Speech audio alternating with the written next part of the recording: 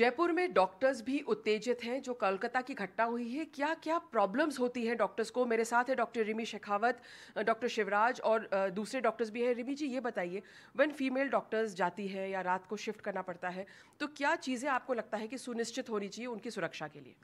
देखिए they are very vulnerable उनके लिए कोई स्ट्रिक्ट uh, टाइमिंग्स नहीं होते हैं नाइट ड्यूटीज़ के अंदर और specially if they are working in a remote areas तो सबसे बड़ी चीज़ ये है कि जो भी अथॉरिटीज़ हैं, उनकी एक तो ट्रैवल जो है टू एंड फ्रो उसकी सेफ्टी बहुत ज़रूरी होनी चाहिए।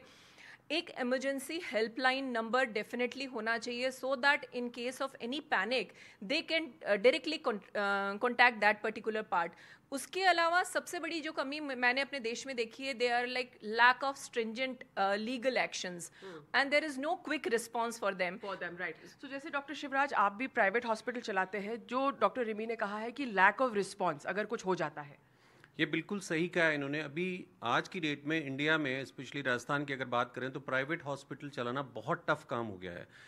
आज की डेट में कोई भी पेशेंट के अटेंडेंट्स जो होते हैं, वो वो बिल्कुल एग्रेसिव हो जाते हैं छोटी सी बात को लेके। अगर वो ठीक होके जाता है तो पेशेंट कहता है, पैसे ज़्यादा ले लिए। अगर वो कुछ भी उसके साथ गड़बड़ होती है तो उसका एक ही चीज़ है कि इलाज ठीक नहीं हुआ।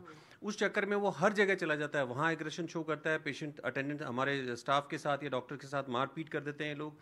तो एक्चुअल में जो चाहिए वो चाहिए कि एक ऐसा लॉ बने डॉक्टर्स प्रोटेक्शन एक्ट ऐसा बने doctors as well as medical staff का एक प्रोटेक्शन एक्ट बने, जिसके तहत इतना लॉ इतना स्ट्रिक्ट हो कि कोई डरने लग जाए पेशेंट्स के अटेंडेंट एक डॉक्टर से इस तरह की मारपीट करने के लिए। सेकंड एक जब भी इस तरह का इंसिडेंट होता है अपने इंडिया में लॉ ऐसा है कि वो 25 जगह कंप्लेन कर लेता है। सी एम एच ओ पे C M H O R M C F I R consumer protection में सब जगह वो चला जाता है। एक डॉक्टर को एक ही छोटी सी तकलीफ़ के लिए 20 जगह केसेस हैंडल करने पड़ते हैं।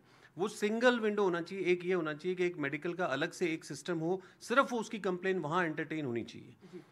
डिम्पल जी, आप थोड़ा सा आगे आए, बताइएगा मेरे को कि एज अ फीमेल डॉक्टर मतलब आपको क्या लगता है कि क्या सेफ्टी मेजर्स होने चाहिए डॉक्टर्स के लिए? फ़र्स्ट एंड फॉरमोस्ट कि भाई सिक्योरिटी हमारी इंपॉर्टेंट है कि भाई हाँ ठीक है, जाना, आना, रात को रुकना, कहीं पर भी मेडिकल फैसिलिटी के अलावा जैसे हम प्रोवाइड करते हैं और पेशेंट के अटेंडेंट्स होते हैं वो सब वहाँ पे हमें सेफ्टी प्रोवाइड होनी चाहिए।